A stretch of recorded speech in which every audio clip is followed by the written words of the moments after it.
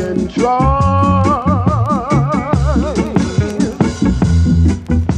as hard as he can.